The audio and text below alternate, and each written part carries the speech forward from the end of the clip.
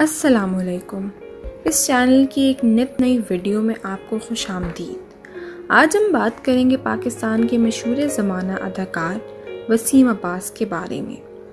Wasim Abbas Pakistani television और film के मशहूर अदाकार और कॉमेडी फ़नकार हैं। इसके साथ साथ वो एक हिदायतकार भी हैं। आपने कई मशहूर फ़िल्मों और ड्रामों में अदाकारी की और उनको सुपरहिट बनाया। उनके वालिद पाकिस्तान के मशहूर ज़माना अदाकार और गायक इनायत हुसैन भट्टी थे, जो कि अपने ज़माने के एक सुपरस्टार तस्वुर किए जाते थे। मशहूर अदाकार और हिदायतकार कैफ़ी भी इनके रिश्तेदार थे। आप पाकिस्तान की मशहूर अदाकारा सबा हमीद के शौहर हैं। वसीम अब्बास का बेटा अली अब्बास भी एक मशहूर अदाकार और मॉडल है, जो उनकी पहली बीवी से था। इसके अलावा सबा हमीद से वसीम अब्बास के दो सौतेले बच्चे हैं, मीशा शफ़ी और वारिस शफ़ी। मीशा शफ़ी पाकिस्तान की मशहूर मॉडल, अदाकारा और गुलकारा हैं। अगर हम वसीम अब्बास के बचपन की बात करें तो उनके मुताबिक अगरचे उनके वालिद भी इसी शोबे से वाबस्ता थे, लेकिन उनके घर में ना तो कभी फ़िल्म पर कोई बातचीत होती थी और ना ही उनके वालिद ने एक मशहूर गायक होने के बावजूद अपने घर के अंदर कभी रियाज की। वो चाहते थे कि उनके तमाम बच्चे आला तालीम हासिल करें और इस शोबे से दूर रहें। वसीम अब्बास को इस शोबे में आने का जुनून था और उन्होंने अपने वालिद से बहुत बहस और लड़ाई झगड़ों के बाद इस शोबे का इंतखब किया और इसमें अपना भरपूर नाम बनाया। एक बार उन्होंने अपने इम्तिहान से पहले गरम गरम चाय उंडेल कर अपना हाथ तक जला दिया, क्योंकि वो पढ़ाई की बजाय एक्टिंग करना चाहते थे। वसीम अब्बास के पाँच बहन भाई थे।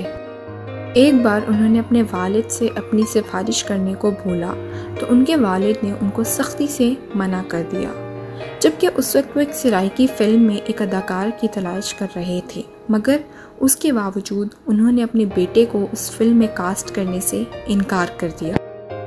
वसीम अब्बास के मुताबिक उन्होंने अपने करियर का आगाज़ सफ़र से किया। वो अपने करियर के आगाज़ में सिर्फ़ स्टेज के पर्दे खोला करते थे। उन्होंने ड्रामों के साथ साथ चंद फ़िल्मों में भी अपने करियर के आगाज़ में काम करने की कोशिश की, मगर वो एक अच्छे फ़िल्म अदाकार ना बन सके जिसकी वजह से वो पाकिस्तान टेलीविज़न की तरफ़ आ गए। पीटीवी के मशहूर ज़माना ड्रामा फैमिली फ्रंट में उन्होंने अपनी मौजूदा बेगम सबा हमीद के साथ अदाकारी के जौहर दिखाए। कम से कम तुम्हें तो एहसास करना चाहिए सुमन कुछ पता है पैसा कितनी मेहनत से कमाया जाता है? तुम मुझसे लड़ रहे हो? जी। क्यों? इसमें खुश होने वाली कौन सी बात है? मैंने ना एक मायने नफ्सियात का बयान पढ़ा था तो उसने कहा था मियाँ बीवी में जितनी ज़्यादा लड़ाई होती है उतनी ही उनकी मोहब्बत बढ़ती है। तो कितने वर्षों बाद हम लड़ रहे हैं ना? इसलिए कि हम कई वर्षों के बाद मिल रहे हैं। मुझे हिसाब किताब चाहिए। जाना जरा अपनी मैथ्स की बुक लो और भी हिसाब की किताब क्यों?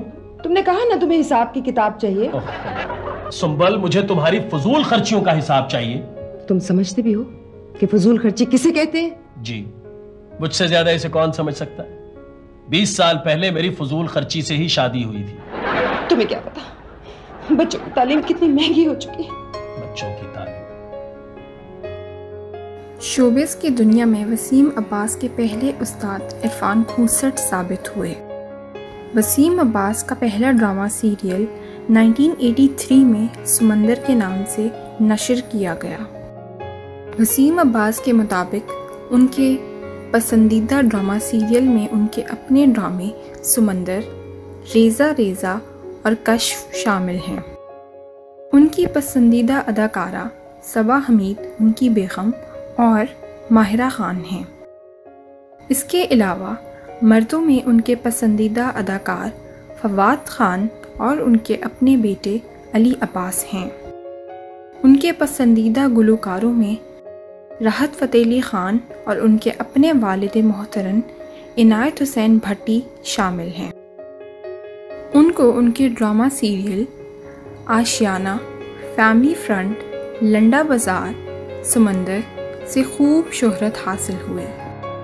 वसीम अब्बास अपने बेटे अली अब्बास के इंडस्ट्री में काम करने की मुखालिफ तो ना थे, मगर वो चाहते थे कि उनका बेटा पहले अपनी तालीम मुकम्मल करे उसके बाद इंडस्ट्री में कदम रखे। उनके बेटे अली अब्बास ने लॉ का इम्तिहान पास किया और उसके बाद सीएसएस का इम्तिहान भी दिया। अपने वालिद की रवायत को बरकरार रखते हुए वसीम अब्बास ने भी इंडस्ट्री में आने के लिए अपने बेटे की किसी किस्म की सिफारिश ना की। वसीम अब्बास के मुताबिक आजकल के दौर में इंडस्ट्री में अपना नाम पैदा करना पहले की नस्बत ज़्यादा मुश्किल है। वसीम अब्बास के मुताबिक, पहले सिर्फ़ पीटीवी हुआ करता था, जिसकी वजह से व्यूअर्स को एक ही ड्रामे को देखना पड़ता था।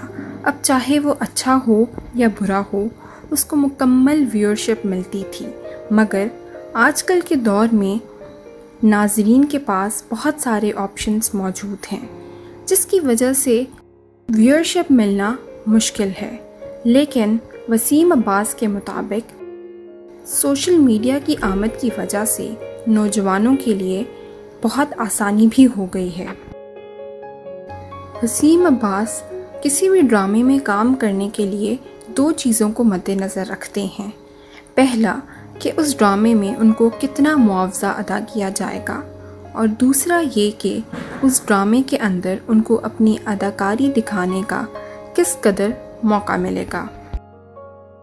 वसीम अब्बास का कहना है कि हमारी पंजाबी फ़िल्मों के जवाल की असल वजह यह है कि हमने अपने असल पंजाबी कल्चर को पीछे छोड़कर गंडासा, फहाशत और गालम गलोच के कल्चर को अपनी पंजाबी फ़िल्मों की जीनत बनाया, जिसकी वजह से असल कहानी और हमारी पंजाबी फ़िल्मों का असल अक्स कहीं पीछे रह गया। वसीम अब्बास की मशहूर फ़िल्मों में आईना और ज़िंदगी, ज़रा सी बात, बदलते रिश्ते, टीना, शाह बहराम, हक महर, जुगनू, एक्शन, मेरा इंतकाम और 2017 की मशहूर ज़माना फ़िल्म पंजाब नहीं जाऊँगी शामिल है। अगर हम आपके मशहूर ड्रामों की बात करें तो उसमें होम स्वीट होम, डबल सवारी, नाटक मंडी, चौकी नंबर 420 अनोखी, मेरा साईं, काला जादू, ज़िंदगी गुलजार है, मेरा नाम यूसुफ है परछाइयाँ बेकसूर, दिल नवाज़, लाल इश्क, हानिया मेरे हम सफ़र, प्रेम गली वगैरह शामिल हैं। 2016 में आपको हुकूमत पाकिस्तान की जानब से प्राइड ऑफ़ परफॉर्मेंस से नवाजा गया।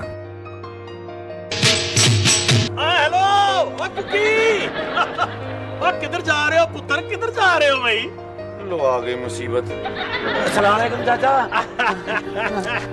वालेकुम अस्सलाम। चाचा कैसे हो? यार मैं तो बिल्कुल ठीक हूँ। तू अपनी सुना क्या हाल है? तेरा हाँ बस खुदा फिर तू यार कमाल कर रहा है।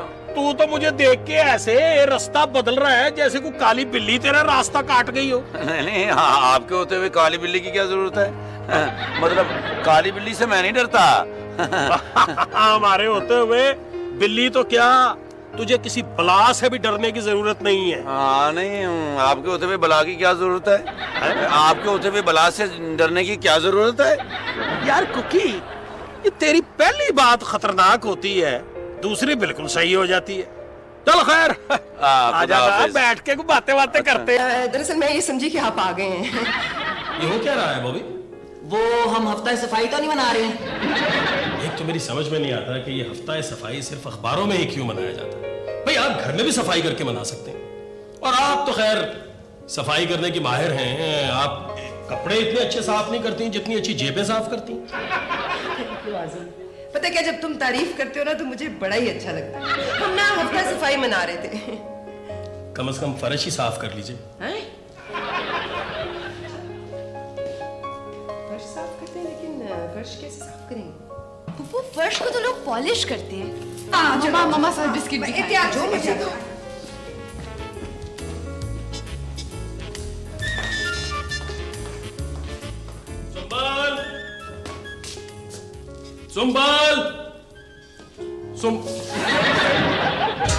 ये थे वसीम अब्बास की ज़िंदगी के चंद पहलू और अहम हकाई। मज़ीद इस तरह की वीडियोस देखने के लिए हमारे चैनल को सब्सक्राइब करें और बेल आइकन के बटन को प्रेस करना ना भूलिएगा।